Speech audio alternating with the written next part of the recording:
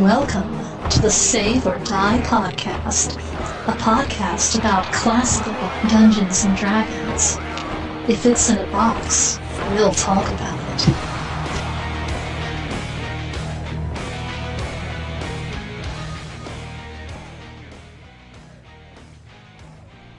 Hello, folks, and welcome to the Save or Die podcast, supplement number C or number three.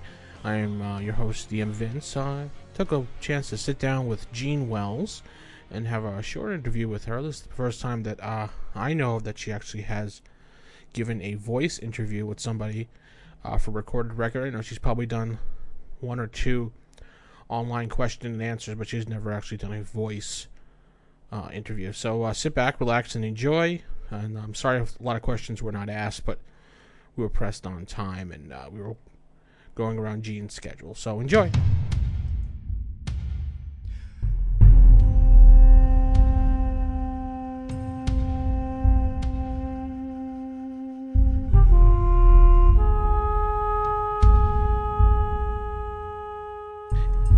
Is why don't you tell us how you got started in uh, working in gaming and, and how you started working for TSR and Gary back in the uh, late 70s, early 80s?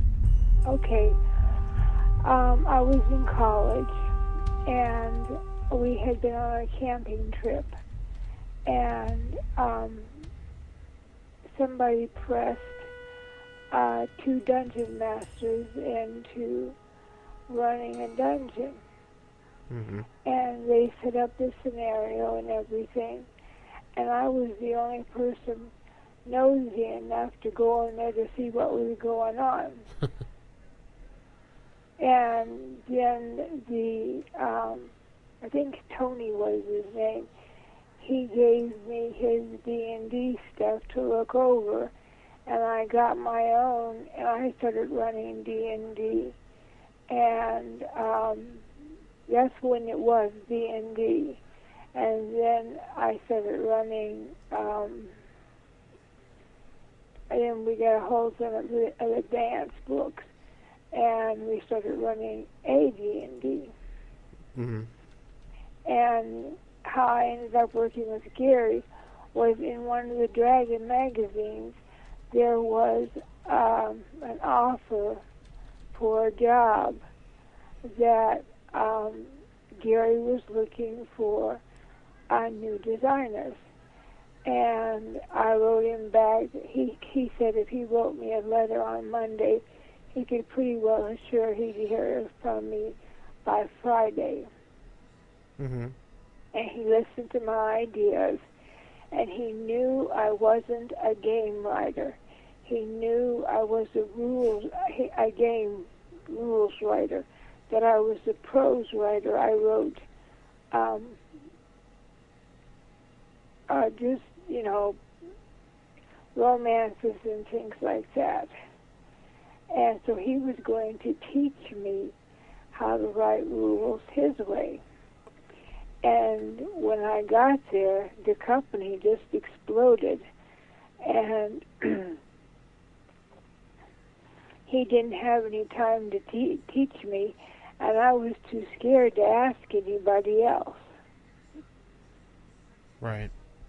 And so, anyway, that's how I came to, to know Gary Gygax. he was always sweet and kind to me, and um, if I ever had a problem, I could go to him. Interesting.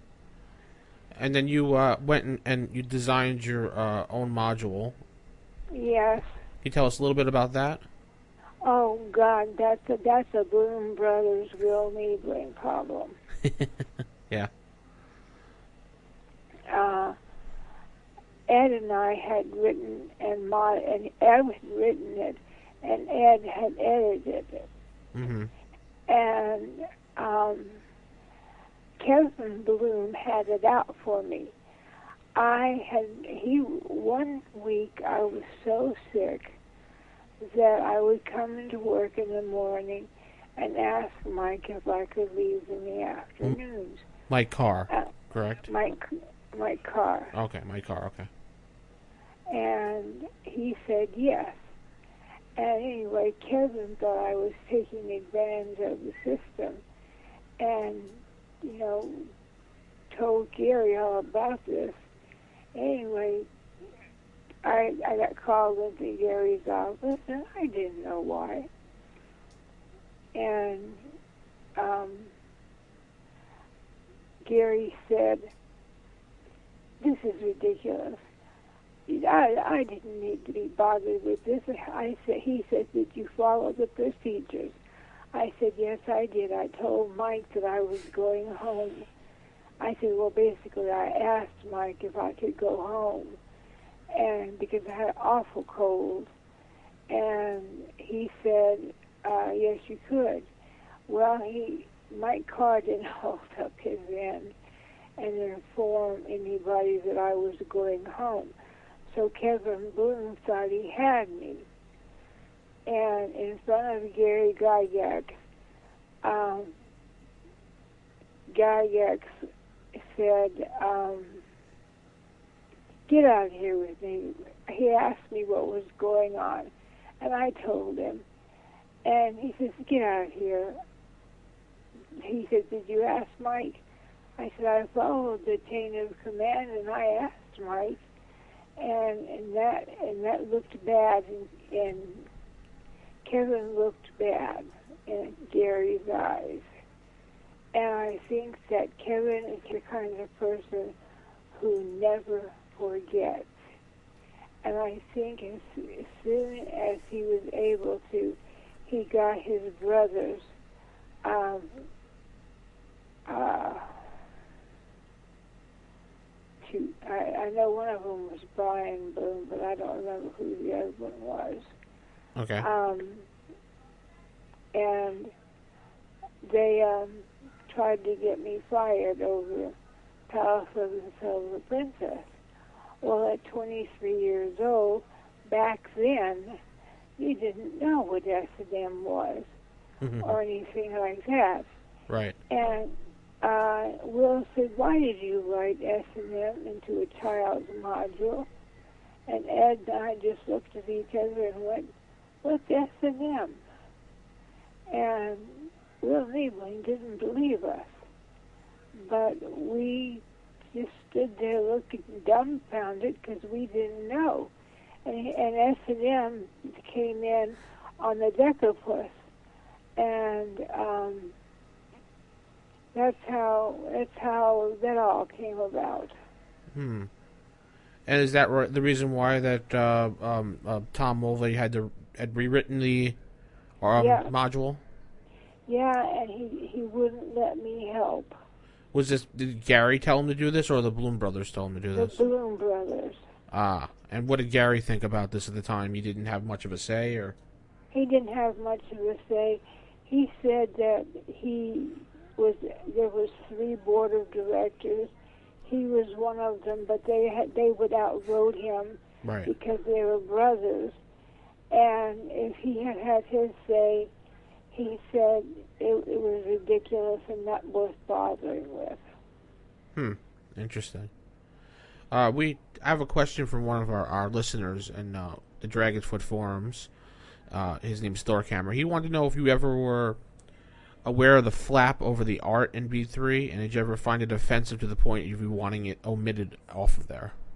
Yes, I did. I wanted it taken off, but Jim Roslof uh, wouldn't let me take it out because it was too close to deadline. And I was mad because um, uh, Erol Otus had made my Ubues into um, hermaphrodites, and I didn't know what that was, but I know that each one of my monsters was the same sex. You know, if it was a female, it was a female. If hmm it was a male, it was a male. And Erol, Erol Otus just, he's a clown yeah. and screwed the whole thing up. So all these years, people thought I wrote, I, I did a herma- hermaphrodite. hmm Okay. Uh, did you ever consider doing a follow up to uh, B3? Maybe finding someone from the old TSR crew and teaming up with them and, and maybe writing something on your own with them? No, because um, then nobody would touch me with a 10 foot pole. I wrote a game. At that time, we were writing box games. And I had uh, a game that I had right on the money. Mm-hmm. And Gary and Ernie enjoyed it. Ernie was one of my playtesters. Among other people, at the um, oh shoot, among the TSR people, and they all enjoyed it. Right. And but Lawrence wouldn't even look at it. Lawrence Schick. Mm-hmm. Mike had moved on, and it was Lawrence Schick that was our supervisor. Lawrence wouldn't look at anything I wrote anymore. Hmm. So even uh, Thorhammer also wants to know: Are you retired from all this, or are you still possibly looking to publish one more thing sometime soon? Well, this uh, module, Welcome to Diamond, um, I would like to write, but it's a free module, and I would like to write it for the computer. Right. Um, the information that you were sending me. yeah, I'm sorry about that. As soon as I get my glasses, I'll be able to see better. Uh, can you wait that long? Yes, that's not a problem. We're, we'll we'll help you out, and we'll get this on the computer for people to uh, enjoy. Yeah, it's it's just it's just something. Um, I've been asking my husband to copy off some maps for me, and one map has all the um, the names on it of all the monsters. It doesn't have their descriptions, but it has all their names. And Mhm. somewhere in all that stuff is the names of the monsters or th- they're in the correspondence that I had with Eric before Eric quit. Eric got sick and he just he changed his phone number. I couldn't get him on on uh, Skype anymore, Hmm. and he never answered any of my letters. Well, we'll we'll here at the podcast we'll make sure to uh, help you out in getting this uh, published out. We'll work with you on the phone and and Yeah, emails. see, he was he wanted to make money off of it. Wow. And I didn't want to. I just wanted to write a module for people to enjoy playing. Exactly. And I wanted to write it in the old style of the 80s, you know, of the late 1970s, early 80s. And that's the style I want it written in, and that's the style, um, well, that's just the style I want it written in. No. Yeah. Uh, I, I, I will need some help Mm-hmm. with with the rules. I mean, I can come up with all the descriptions, Right. but the uh, rules are hard to do. I don't remember that much about the rules, Wow. We'll, we'll hear it. so um, all I remember is uh, bows don't do damage, arrows do. uh, I remember a question off of the um, sage advice. Yes. I remember that. Yeah. Now, yeah, we'll, at the podcast here, we'll help you out, and as I've said many a times, we're not in it for money. We're just in it to help promote things. So, Okay, well, yeah, I, if you will help me promote it, I would love it. Um, like I said, I don't want any money for it. As long as you don't want any money for it, no, no. we're just we're doing we're doing hunky dory. Because you know, um, it doesn't have to be perfect. It doesn't have to have a lot of pictures in it. Um, it can have some pictures in it if we if we can find somebody to write some pictures, but they'd have to read the module first. I got. I have actually have an artist that wants to uh, do some work, so we're we're all set with that. Okay, that's great. That's great. Well, I'm sorry your friend isn't here. She was asking me a question about women. Uh, what is it like? Actually, she was asking something similar to, what was it like being uh, a woman working in the RPG industry back in those days? It was, it depends on where you were. hmm Uh, I was, I was considered the token female. Right, right. and a lot of other women were considered token females too, and then a lot of other women were taken seriously. Mm-hmm. So you know that's that's how it is. I happen to have been going with uh, Skip Williams when all this blew up. Mm-hmm. So So, did you do any work with Larry Elmore back in the uh, 80s? no, uh, Larry Elmore left before I got there. Oh, okay. In fact, I moved into his old room. you took his old office, huh? Well, I no, I moved into his bedroom. Oh, okay. Um, there was a, it was a dormitory-like house, and everybody had a, had a, their own room. And Gary had vacated it the day before, and I just moved in. So the TSR um, offices had their own dormitory for people to stay while they were working there. No, it was just it was our agreement. Um, just this an agreement between Jeff Leason and Dave Conant and uh, Joe. I can't remember his last name. Joe and Allen Hammack. Hmm. And we all lived in the same house Interesting. and um,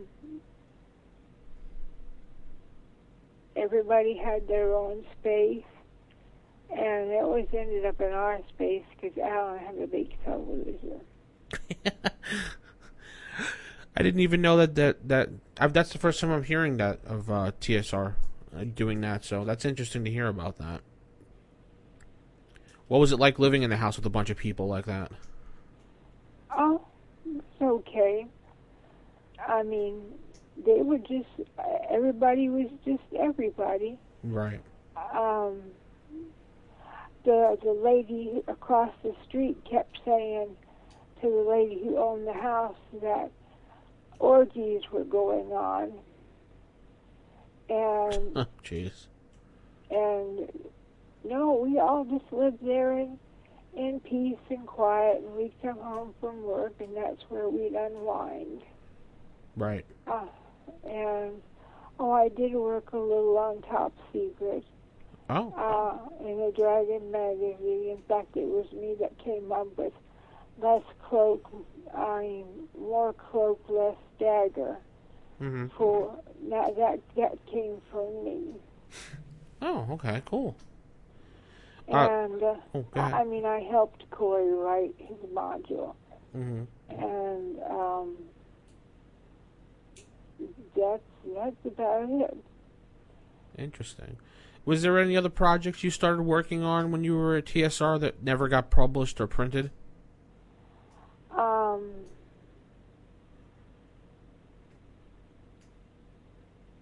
I wanted to do another module, but they wouldn't let me. Okay. So that was pretty much it. Then they just wouldn't let you do any more work at that point. Yeah, and Lawrence was mad because I filled the rooms with furniture. You know, I didn't I didn't like this empty room bit. You're talking about B3 uh, now. Huh? You're talking about your module B3 now, right? Yeah. Okay, so you added furniture and they were annoyed by that. Yeah, especially Lawrence. And he goes, Why are you putting furniture in the empty rooms? And I said, So they're not empty. Yeah. Give it some flavor. Yeah, it was just, you know, giving the room character. Something for, you know, they can go in there and search to their heart's consent and find nothing. Hmm. and that was my whole. That was one of the things that I wrote about about B three. Is I wanted them to, you know, waste a lot of time looking for something that wasn't there. No, you were trying to trick the characters. Good, good idea. I like that. I like that idea. so, uh, the character, the NPCs that you did for B three, where did you come up with them? Uh, were they made specially for the module, or were um, did you use them in a former campaign? No, I think I just came up with a, with uh, stuff from my head, uh, like the Tinker Man and his daughter. I thought that they could use the Tinker as a source of information. And if the players were smart, they could figure that out. And the Tinker would be able to give them information because he went from town to town. And um, and of course the daughter was pretty, so you know I was hoping somebody might get flirtatious with her. Oh, interesting. Cool. All right. And uh, if are you going to be going to the next GaryCon so people can visit and talk with you about certain things? I promised Luke Gygax that with all possible, I would be there. Like I said, I'm handicapped. Right. And I said, if all possible, I will be there. Do you? And that's all I could promise. Okay. And if you do go, would you play in any games, or are you just gonna go chit chat with some old friends?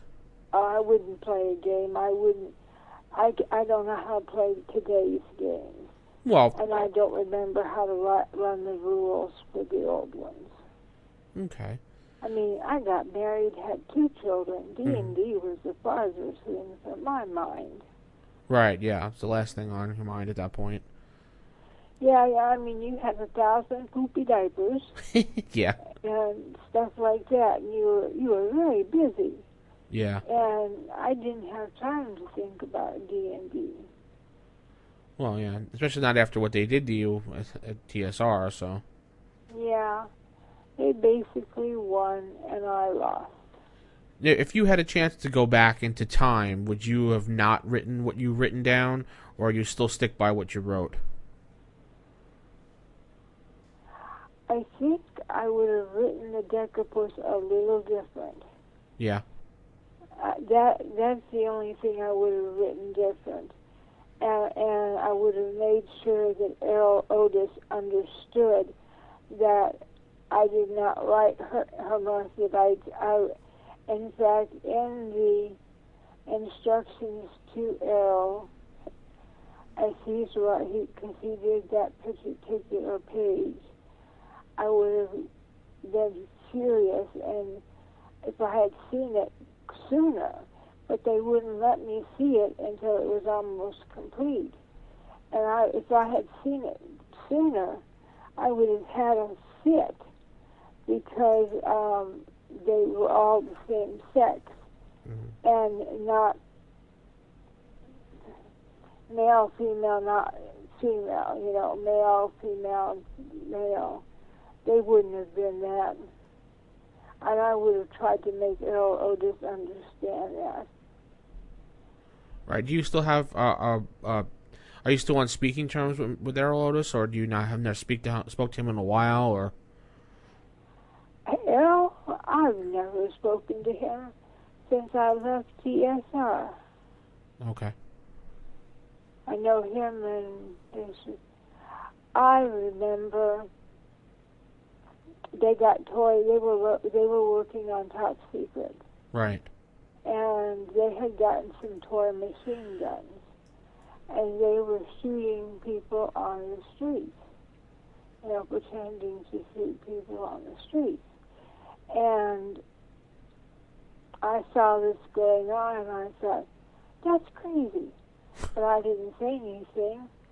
And then the FBI showed up and questioned them and discovered that they had been playing and told them that they were grown young men and they shouldn't be playing like that. Hmm. Interesting. TSR in the beginning was really easy going. It was, it was, what's the word I'm looking for? It was laid back. Um, if you were thinking, it didn't mean you were goofing off. It simply meant you were thinking. okay. Well, Jean, thanks for taking the time to sit down with me to answer some questions about uh, what was going on in the past about B3 and how you wrote things. I appreciate that. All right. Do you have any other questions? No, that's all. And I thank you for coming on the show. Hi, Vincent. I hope your show goes well. Thank you. If you have any comments, please email saveordiepodcast at gmail.com or visit saveordie at saveordie.info. Follow the cast on Facebook slash Save or Die Podcast or follow them on Twitter at The Evil DM.